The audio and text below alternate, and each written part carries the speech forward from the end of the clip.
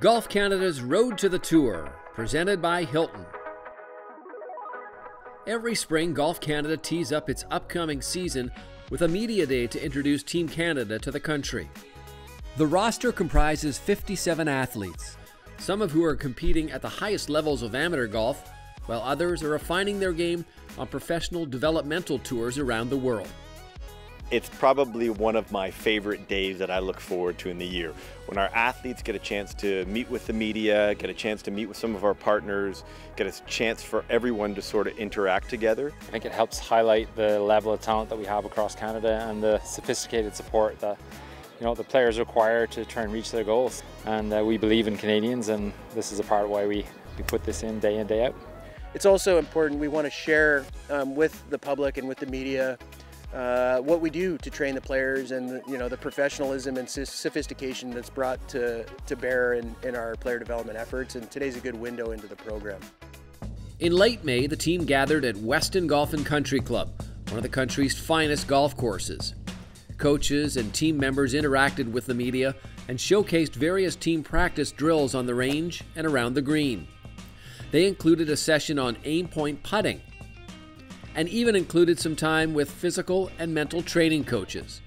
Today, we're, we're trying to actually rotate uh, media and other guests through a series of stations where people will be learning about some of the technical things that are, are taught to the players. Really, it's to help people gain an appreciation for the depth and sophistication of the level of training that, that the players are engaged in. Well, I think it allows us to share the inside look at what, a, uh, what our, a training camp might be or what our top players are doing, the skills and habits that are required uh, are really important and they're tough to acquire. They're young in some cases and they're, they're just learning some of those skills that I think are very valuable for life and for golf.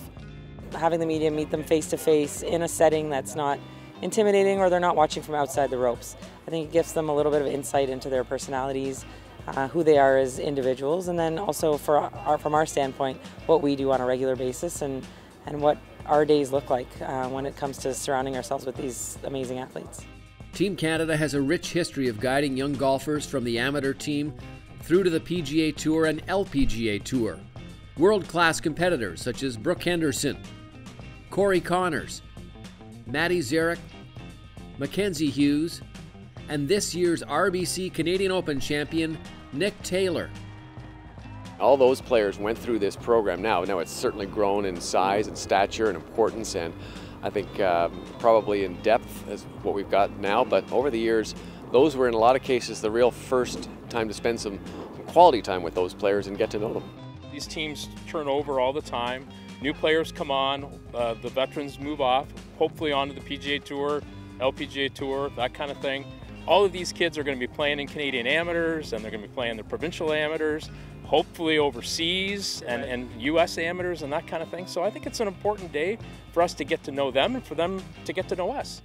It also gave Golf Canada a chance to announce that Team Canada member Johnny Travale was given an exemption into this year's RBC Canadian Open at Oakdale Golf and Country Club in Toronto. It's his second trip to the national championship as an amateur.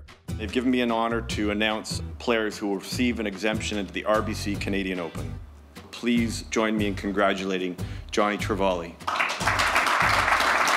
Lots of times on the European Tour, their top amateur players will play 10 or 20 professional events before they turn professional. We have to do more of that in Canada, and the RBC Canadian Open is a pinnacle in Canada. It's the biggest event in Canada, and it's a PGA Tour event. So to get that experience for our guys at a younger age and to get comfortable with that, it's gigantic for a guy like Johnny. Media Day is also a chance for the team to come together to build some national camaraderie before a summer of competition starts heating up. Being out here, um, it's kind of like a great kickoff. It kind of feels like we're all together as a team, and then we all obviously we all go our own different ways on where we're at in our lives. But this is a great place to kind of start, get our mind in the right spot, um, kind of work with our coaches and see our coaches that we haven't seen in a long time, and then kind of, you know, get ready for the new season that's coming up for everyone else, wherever wherever we may be. When you're in college, you really focus on just the tournament you have ahead of you. But now that it's all in the past, we can look at like the summer ahead and focus more on Golf Canada and playing for Canada because that's what I love and being here and coming home and seeing everyone is, is so fun and looking forward to Glencoe and Calgary and Canadian Am. It's just like I have, those are my highlights of the year. You want to play as many events as you can, and obviously the really good high level events, so that's always really exciting. You're doing a lot of traveling, you're uh, going a lot of new places, and yeah, it's just a lot of golf and kind of getting ready to turn professional, basically, is what the summer is all about golf is like a lone sport, it's not really a team sport. So knowing that there are other people who like will train, practice with you, like have the same values as you, but will also like, you know, like compete and encourage you is just like really good. I think it's definitely helped. To win at this level, golfers need to remain focused both on and off the course. Having a partner such as Hilton gives the athletes a home away from home where they can enjoy the comforts of a hot meal, Wi Fi, and all other necessities needed for the ultimate stay over an extended period of time. It's great to have a partner like Hilton. You know, often the days start at 5 or 6 in the morning, they go till 9 or 10. So to have somewhere where you can rest, recover, and, and get prepared for the following day is super important.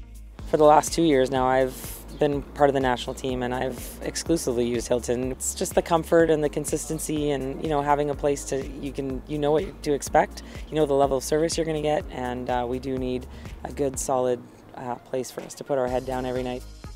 Each and every week, Team Canada members will train and compete at events across North America and beyond. Golf Canada's ultimate goal is to have 30 Canadian players on the LPGA and PGA tours by 2032. This year's team is laden with world class talent. It's very plausible that several members of the team will soon find themselves at the pinnacle of their careers on professional tours around the world. Tune in to the next video and see how Team Canada participated at the RBC Canadian Open. Check it out as a member of Team Canada stays overnight at the Hilton on the Green during the tournament week. All this next time on Golf Canada's Road to the Tour presented by Hilton.